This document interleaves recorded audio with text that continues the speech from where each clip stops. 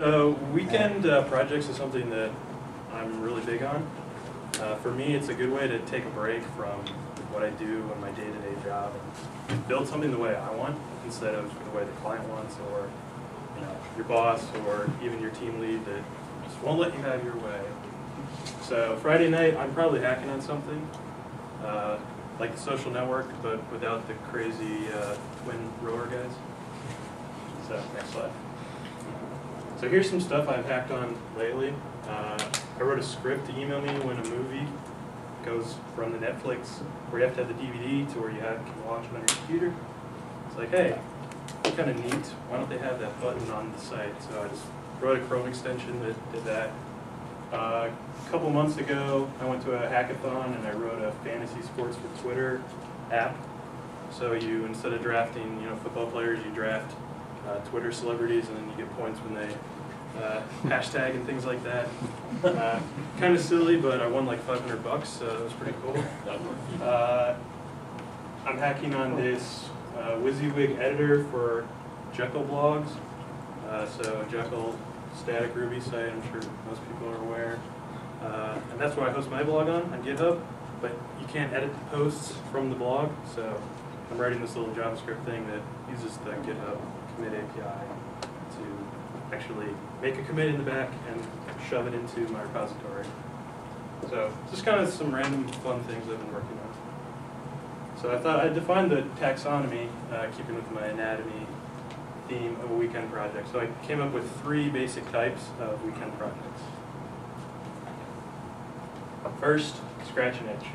Uh, if you find yourself asking, like, why doesn't this thing exist?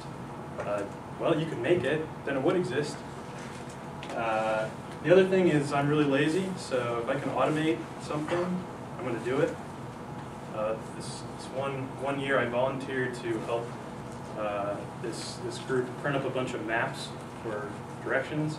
There was like a food drive, so they were delivering the food to these people's houses.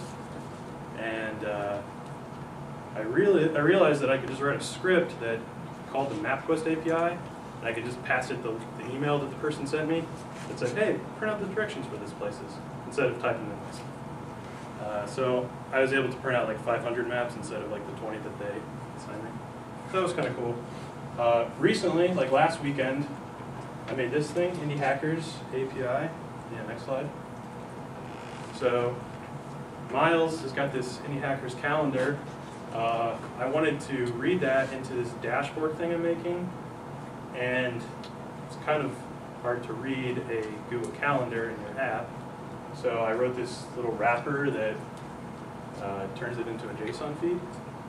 And I used Node, and then I just pushed it on Heroku. It took me like one afternoon, but it works, it's live, you can go ping it if you want. Source code's here.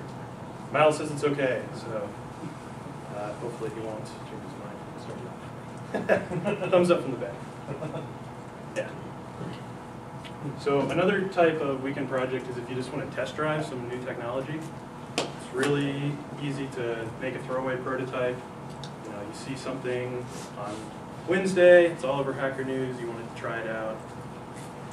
Why not this weekend? And you can do exploratory dev as well. So you can, it doesn't have to be limited to a new library or a new language.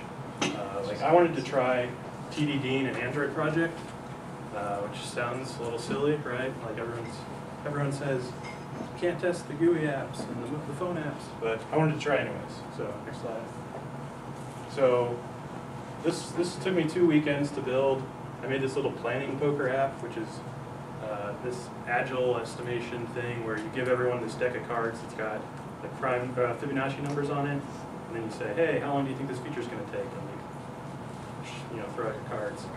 Uh, I always lose that deck of cards, so I said I'll just make a phone app that can hit up and down, and uh, I'll do it. So, and we're giving this away like a conference at work, like some swag instead of a little you know, pen or something.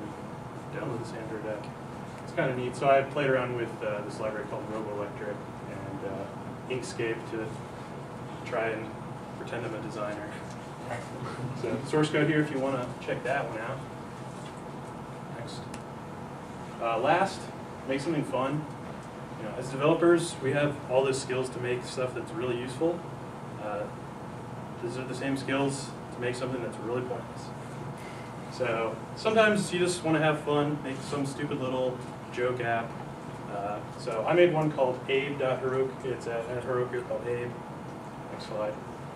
This was a, an inside joke between me and some friends where everyone always uh, confuses their presidential facts, and Abraham Lincoln somehow is always the person that did everything. so you go to this page and it, it'll just tell you a fact. You know, Abraham Lincoln isn't he the president that wrote the Declaration of Independence? Uh, no, you're actually thinking of Thomas Jefferson. Abraham Lincoln didn't have sex with an intern. That was it. So, just a stupid little one-page app, but I got to play around with Sinatra and uh, use Mongo for the back end, just because why not? Uh, so, I consider myself a bit of a weekend project veteran, so I thought I would share some specific tips with you guys. The most important thing I found is you have to manage scope. So, think weekend project. I set aside a whole week, that's 48 hours. Not really. I mean, if you're anything like me, you're probably going to sleep till noon on Saturday, uh, and then you're going to eat lunch, and then you're going to start coding for a couple hours, and then going to meet up with your friends, or you got family stuff to do. You got to take care of your kid if you're into that. so realistically, instead of four 48, you really have four to eight hours. So it's important to set expectations on what you want to get out of the weekend. If your goal is just a one-off, you know, like my stupid Abraham Lincoln project, that's cool. Uh, if your goal is to turn this into a, an ongoing side project, or you know, you're starting your new uh, software as a service startup, uh, have different expectations, right? You're not going to be able to finish something that's going to take you 100 hours of coding in a weekend, uh, no matter how many references you have. And lastly, go for easy wins. So you can limit your scope to whatever you want, right? You're the boss of the project. So give yourself reachable goals so that you keep building that momentum. If you spend four hours coding something and it still doesn't do anything, probably gonna stop. Next. Uh, fail and throw it out. So these projects are meant to be kind of disposable, so you should treat them like that. Uh, even if you fail, you can still pick up tips and shortcuts for the next time. Like, it might take you a whole day to get a domain registered and figure out your DNS records and all that stuff, but at least the next time, you won't have to spend it. Um, fear of failing. So, this is something that I'm really big on. Like, if you're scared of failing, you're never going to start anything. So, don't do that. My GitHub right here, I got 47 repositories, and I'd say like 46 of them are failed projects that I've abandoned. Uh, I'm cool with that, so you should be too. Once you get more than 47, then you're on your own. Uh, lastly, get stoked. So you build something cool. It's not really polished, it's not pretty, but you know, when you look back at it, you created something out of nothing but a bunch of bits. That's pretty awesome. And that's more than a lot of people can say. Yeah, next.